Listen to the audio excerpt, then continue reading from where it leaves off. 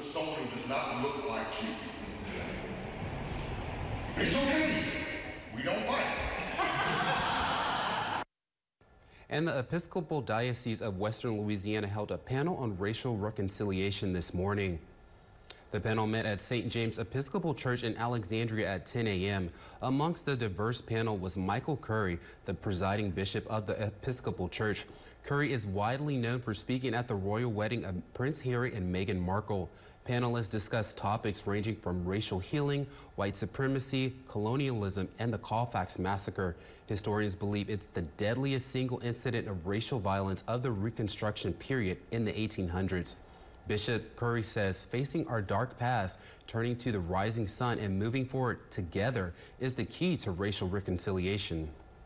Well, the work of racial reconciliation is part of God's work of reconciling the world to himself and helping us to be reconciled with each other. It's how we actually make the world livable. Dr. King once said we will either learn to live together as brothers and sisters or we will perish together as fools. We asked Curry if he felt the political climate in the United States was too divided and what words of advice he has for folks.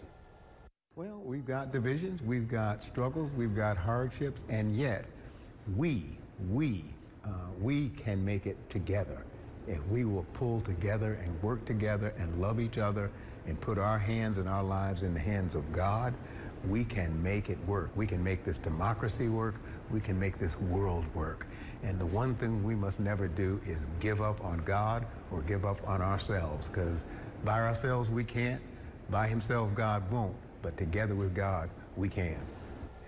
If you missed out on a chance to hear Bishop Curry speak, you're in luck. Curry will be speaking at 8 a.m. tomorrow morning at St. James Episcopal Church right here in Alexandria. The service is free and open to the public.